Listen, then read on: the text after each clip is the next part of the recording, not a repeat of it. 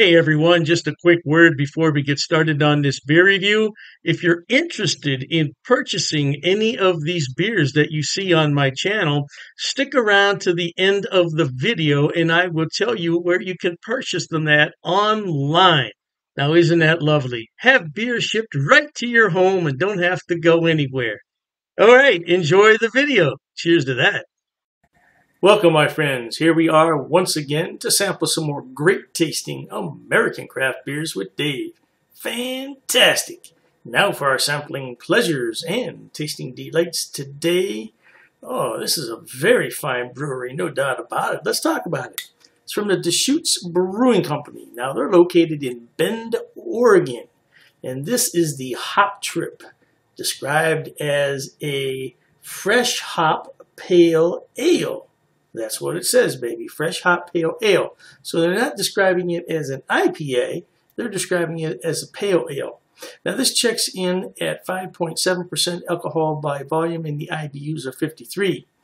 According to the date stamp on the back, this beer is good for another two weeks. So that's uh, better than the last one I had because the last beer I had from Deschutes a couple days ago was two months past its prime but it was still quite lovely because it was bottle conditioned. And so is this bottle. It is bottle conditioned. You use this lovely glassware, my IPA glassware, although it's a pale.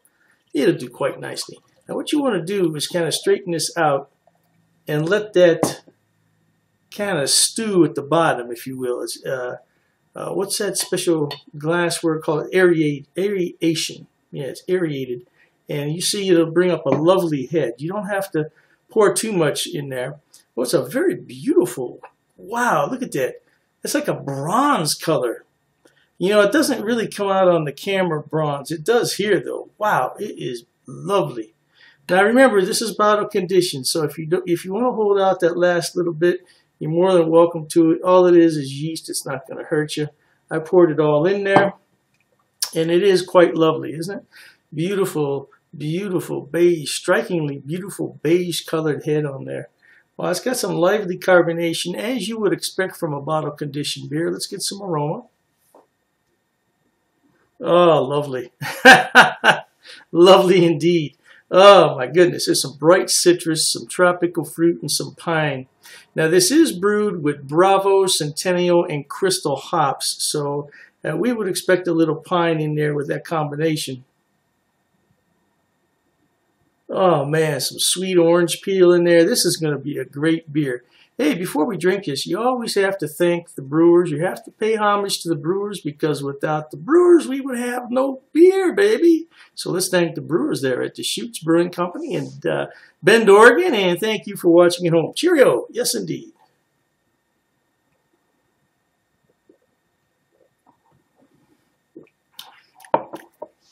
That is flavorful. That is very flavorful. Everything that I described in the aroma is apparent in the taste. Wow, man, that orange peel in there is kicking. I like it.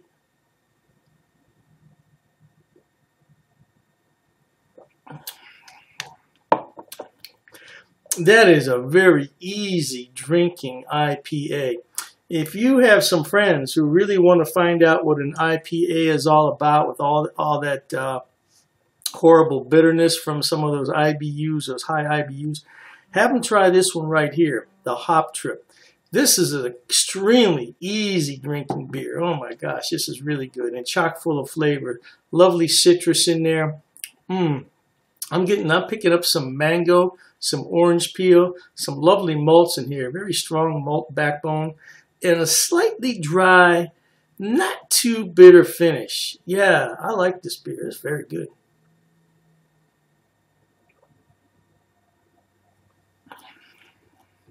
Man, look at the lacing that's leaving behind there. Lovely head. Oh man, this this is a very well crafted beer, and you know straight away I'll have to give it five stars. It's solid gold, baby. One more time. Deschutes Brewing Company. They're located in Bend, Oregon. Now this brew is uh, processed in the brewery until the end of October each year. So if you want to try this, you're going to have to rush in to your local beer emporium and hopefully try to find it on the shelf. If not, you'll have to wait until next. Uh, they brew that at the end of September.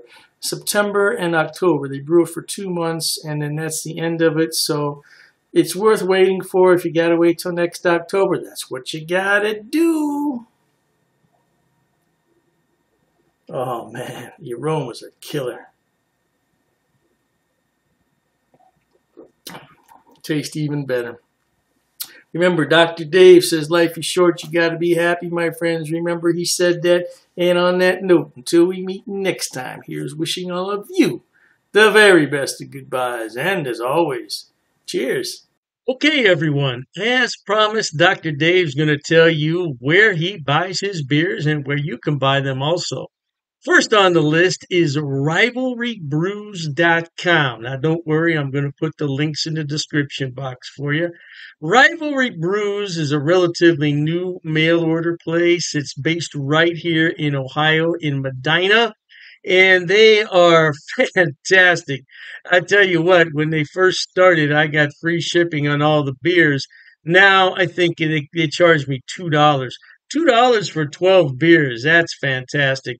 Now as far as i know they ship to the lower 48 but you might want to check the website on that. I can't be 100% sure but the shipping is fast. The turnaround is fast and if anything's wrong they will fix it right away. I only had one issue with them and they refunded half my purchase order which i thought was more than fair more than fair so anyway, uh, by the way, disclaimer: I don't get any money on any of this. I'm not affiliated with any of these beer companies. They don't know I'm doing this. I'm just telling you where to buy the beer.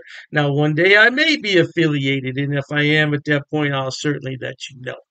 So, Rivalry Brews, located right here in Ohio, they specialize in Ohio beers uh, beers from Pennsylvania and Indiana. So if you want some good Ohio craft beer, that's a good place to start.